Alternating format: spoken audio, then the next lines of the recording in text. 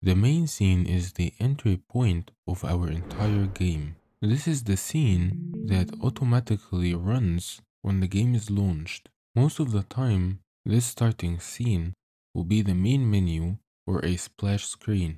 If you are running the game for the first time, Godot will ask you to specify a main scene. And if you choose a main scene and you try to run the game again, Godot uses the scene that you specified as the main scene. So in this case, if you want to change the main scene, you will need to go to the project settings and change the main scene under the application settings in the run section.